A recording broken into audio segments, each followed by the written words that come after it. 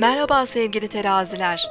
Maddi harcamalarınızı tekrar gözden geçirmek isteyebilirsiniz.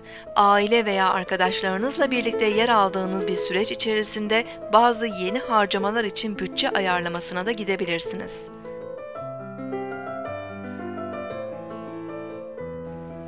Bugün 28 Nisan 2014 Pazartesi, Ay günündeyiz.